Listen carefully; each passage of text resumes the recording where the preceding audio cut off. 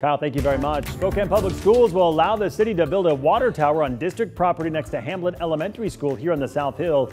You are looking at a rendering of what the 2 million gallon tank would look like. The city says the project is needed to increase system reliability for customers and the fire department, especially during the summer months. Not everyone, though, is in favor of the plan, including one man at tonight's school board meeting who says the property should be preserved for kids to play in. Tonight, school board members also discussed Spokane Transit Authority buses being used to bring kids to school instead of those yellow buses. Even though STA routes cover much of the school neighborhood areas, they are still outlying neighborhoods that need to rely on yellow school bus services. The board will continue to discuss options with STA in the coming months.